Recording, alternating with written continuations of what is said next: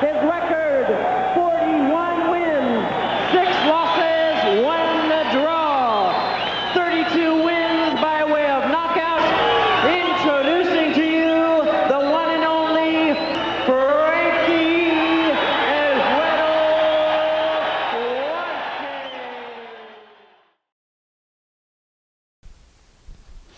Okay, your first lesson is going to be on the stance. Now, don't skip this lesson because understanding the stance will be crucial to everything you learn on boxing from here on. Now, if you're left-handed, I want you to do everything the exact opposite. If I say step back with your right foot and turn your right foot to the right, you're going to step back with your left foot and turn your left foot to the left. So, okay, feet about shoulder width apart, toes pointed straight ahead. Take your right foot, step straight back, turn your right foot to the right at about a 45 degree angle. The left foot could also go slightly to the right. Sit straight down, get on the balls of your feet. Make sure you have a gap between your feet. Don't put one foot behind the other because that gives you poor balance. If you look at that from the side, when I take that step back, I want the toes to my right foot to land just behind my right shoulder. Now, if I were to put it under my shoulder, just right under my shoulder, well, I've lost leverage and that reduces my power.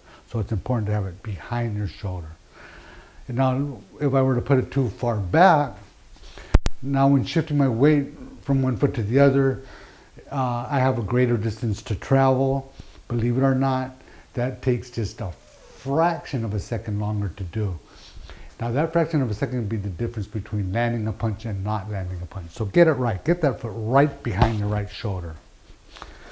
Another thing I want you to notice when I take that step back. See my shoulders above my hips?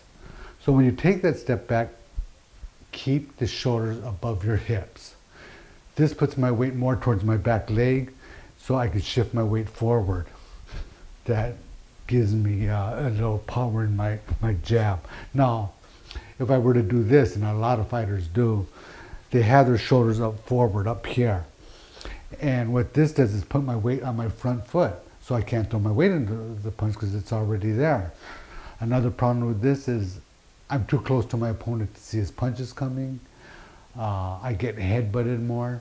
So see that bend in my front knee? I'm going to take some of that bend out and share it with the back knee, squat straight down. Now I have perfect balance. And that's good, that's acceptable. A lot of fighters do that, and a lot of trainers teach it that way. Myself, I prefer to take a little more bend out of the back knee, putting my weight a little more towards the back foot, have a little more weight to throw forward. But more importantly, I'm at a distance where I could see my opponent's punches coming. I got a chance to block, block the jab, jab right, left hook. I can still slip punches, get under punches, and that's a good position to be in. So go ahead and practice that and come back, and we're going to learn how to move around an opponent and maintain the stance at the same time.